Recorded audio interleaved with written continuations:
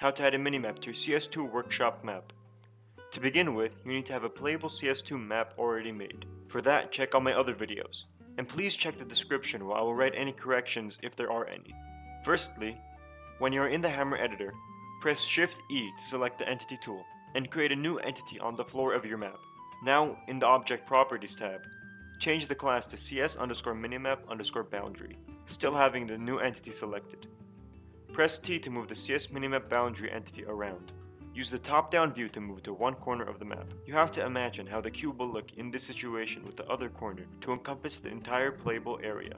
Once you have it in a good position, you want to move the entity a good bit below the lowest playable area on the map to include everything.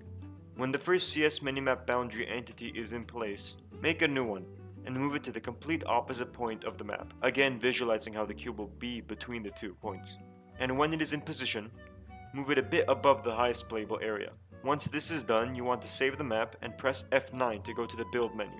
Make sure to check create minimap on load and select the build option you wish. If you choose full, the minimap will have shadows. If you choose fast, it won't.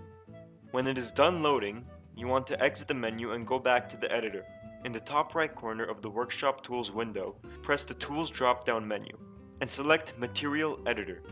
In the Material Editor, First you want to go to the Tools button on the top left of the window and press Options. Select everything except Reset to initial defaults at next restart and so and so as you see on my screen and press Accept.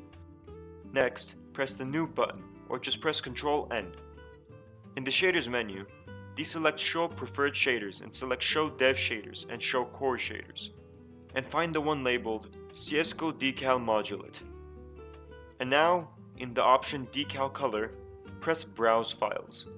Navigate to your Counter-Strike Global Offensive folder and from there go to Content, CSGO underscore add-ons, your add-on name, panorama, images, and overhead maps.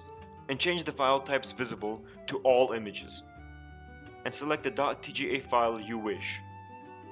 You could edit this image beforehand with programs such as GIMP or Photoshop to make the altercations you want. Just don't change the aspect ratio nor the actual positions of your locations as that will mess it up in the game. The selected file should be a .tga file. Once it is selected, you save your material with the save button in the top left menu, or just press Ctrl S. Now go back into your file explorer and go to your Counter-Strike Global Offensive folder once again. And from there go to Game, CSGO underscore add-ons, your add-on name, panorama, images, and overhead maps. When there, there should be two files. One a .vmat underscore c, and the other a .vtex underscore c. The .vtex underscore c should have a name ending in tga underscore a bunch of numbers and letters. You have to delete all of the random numbers and letters at the end of the name, including the underscore, and you will just leave the tga at the end of course with the name beforehand.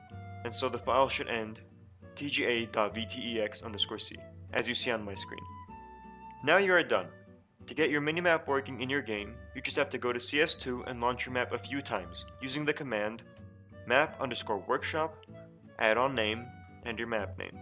You may even have to restart CS2 once or twice, but after a few tries, your map should load up with your minimap. To see more CS2 tutorials, please check out my channel or just click one of the videos on your screen right now. And also please like and subscribe for more tutorials in the future. Thank you all very much for watching.